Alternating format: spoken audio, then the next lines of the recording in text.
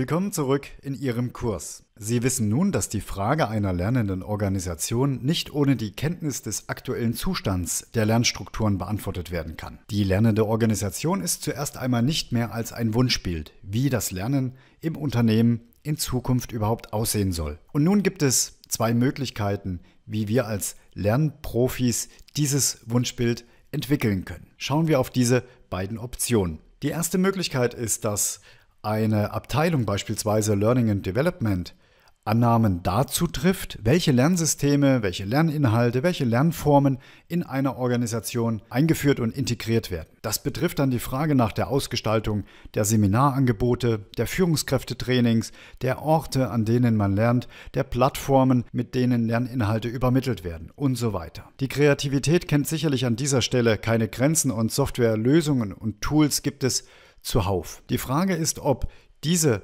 neue Lernwelt, die wir uns ausdenken, auch tatsächlich auf den Lernbedarf der Mitarbeitenden passt. Eine andere Möglichkeit ist es, systematisch heranzugehen. Wir können uns auch die Frage stellen, auf welchen Ebenen in der Organisation Lernen stattfindet. Es geht also um die Handlungen im Lernen und zur Herstellung eines optimalen Lernsystems in der gesamten Organisation. Wenn wir diese Informationen hätten und Daten darüber gewinnen können, wie dieser Zustand aktuell in einem Unternehmen aussieht oder in einer Abteilung oder in einem Team, dann können wir sehr konkrete Verbesserungen am Lernsystem vorschlagen. Nun, es ist offensichtlich, worauf ich hinaus will und dass wir uns eigentlich im Normalfall als Wissenschaftler immer für Option 2 entscheiden würden.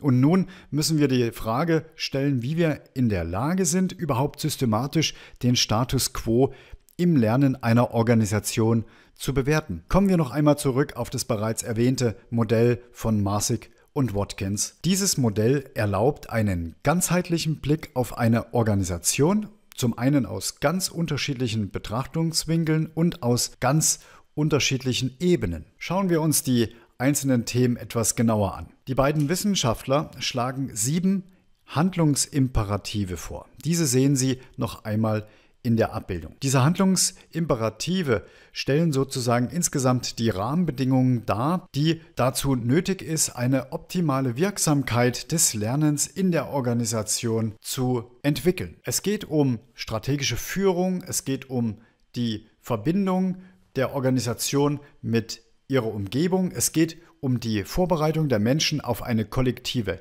Lernvision. Es geht aber auch darum, optimale Systeme zur Erfassung und zur Weitergabe von Lerninhalten aufzubauen. Und natürlich um Handlungen zur Förderung der Zusammenarbeit und des Teamlernens. Auch können wir Handlungen anregen, damit Fehler zwischen den einzelnen Personen ausgetauscht werden und diese Personen in Dialog dazu treten. Und natürlich brauchen wir nicht, nicht zuletzt auch Möglichkeiten zum kontinuierlichen Lernen jedes Einzelnen. All diese Handlungen determinieren letztendlich das gesamte Lernsystem eines Unternehmens. Der Unterschied, den wir nun machen in diesem Modell nach Marsig und Watkins, ist, dass wir diese unterschiedlichen Dimensionen auf unterschiedlichen Ebenen innerhalb der Organisation verorten. Wir fragen uns also, auf welchen Ebenen findet in welchem Umfang diese Handlung statt. Und nun unterscheiden wir in die unterschiedlichen Ebenen des einzelnen Lerners, also des Individuums, der Lernteams, also Gruppen, die miteinander lernen, oder der Gesamtorganisation als gesamter Lernraum. Eine vierte Ebene ist dann immer noch die globale Ebene, die betrifft letztendlich den Austausch zwischen Unternehmen und der Umwelt. In diesem Modell stellt die individuelle Ebene die grundlegende Ebene des Lernens dar. Auf dieser Ebene findet also Lernen individuell statt und zwar dann, wenn wir als Lerner bestimmte Diskrepanzen entdecken. Wenn es also zu Überraschungen in unserer Arbeit kommt oder sich eine Herausforderung zeigt. Dies alles kann ähm, Lernen und Lernbedarf auslösen. Das Individuum, also der einzelne Lerner, das kann beispielsweise in einem dienstleistungsorientierten Unternehmen auch ein Wissensarbeiter sein. Es kann aber auch um einen Produktionsmitarbeiter sich hier handeln, der bestimmte Tools und Maschinen erlernen muss, damit die Abläufe und Prozesse in der Produktion richtig umgesetzt werden. Es geht also immer um das Lernen am und im Arbeitsprozess. Und natürlich kann Lernen auch für jemanden eine bestimmte Motivation darstellen. Er oder sie übernimmt Verantwortung für die eigene Karriere und baut nach und nach Netzwerke innerhalb und außerhalb des Unternehmens auf. Halten wir aber fest, dass eben nur die Konzentration auf diese individuelle Ebene uns als Gesamtorganisation nicht weiterbringt. Die Konzentration auf nur die individuelle Lernerebene garantiert kein organisatorisches Lernerlebnis. Eine weitere wichtige Ebene ist die Lernebene des Teams. Dazu gehört die Idee, dass Teams und Gruppen als eine Einheit denken und zusammen lernen. Insofern müssen sie auch ein eigenes Lernsystem entwickeln und Methoden, wie sie untereinander ihr Wissen vermitteln und austauschen. Es geht also um die Möglichkeit im Team, überhaupt Wissen zu produzieren und dieses Wissen dann kollektiv nutzbar zu machen. Das Team produziert Wissen und liefert zugleich Unterstützungsstrukturen zu dessen eigener Erneuerung.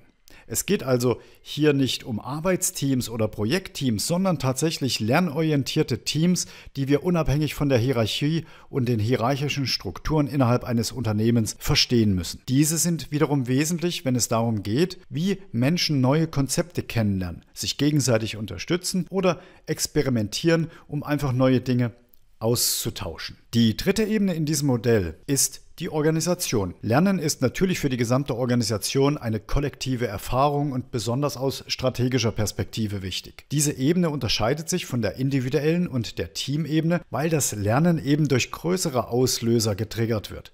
Das können Umweltveränderungen sein, Veränderungen im Markt, oder Marktdisruptionen, neue Technologien oder die Veränderung in der Kundenzufriedenheit. Die Organisation muss nun Infrastrukturen und Ressourcen anbieten, die das Lernen auch auf diesen anderen Ebenen fördern. Die vierte Ebene ist die globale Ebene. Diese bezieht sich auf den Blick nach außen, damit sinnvolles Lernen stattfinden kann und eben auch Erneuerung auf Ebene des Einzelnen und der Teams müssen Strukturen entwickelt werden, die den Austausch mit der Umwelt befördern. Ein Beispiel dafür ist das Bewusstsein für neue Entwicklungen in verschiedenen Fachgebieten. Eben Wissen kommt in das Unternehmen hinein und Individuen können darauf reagieren. Es kann aber auch sein, dass es um neue technologische Fortschritte allgemein geht und diese in die Arbeitsprozesse integriert werden. Wie auch immer, es geht um die Zusammenführung von Veränderungen und Organisationsverhalten. Auf allen diesen Ebenen finden Lernende nun einen bestimmten aktuellen Zustand